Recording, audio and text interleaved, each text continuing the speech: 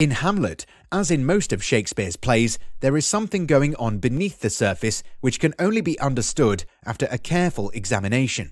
This is not a simple plot about a man who wants to kill his uncle because he is sad.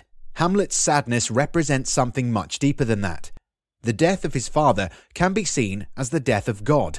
Hamlet has stopped believing in everything, which is why he becomes the embodiment of chaos. Everything must burn. Everything he knew before his father's death is now irrelevant. Hamlet now only has one single goal in mind everything else must go.